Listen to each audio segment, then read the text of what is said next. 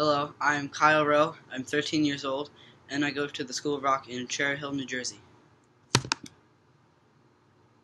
Why do you want to be an all star?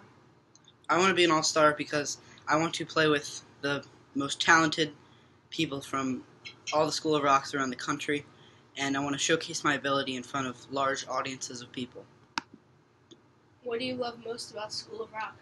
What I love most about School of Rock is that every time I go there, I'm surrounded by people that I love to be around and that share the same interests as me. What was your best School of Rock moment? My best School of Rock moment was the first time I came into the School of Rock rehearsal room and for the Red Hot Chili Pepper show and we played Can't Stop and it was amazing and I felt like I belonged there.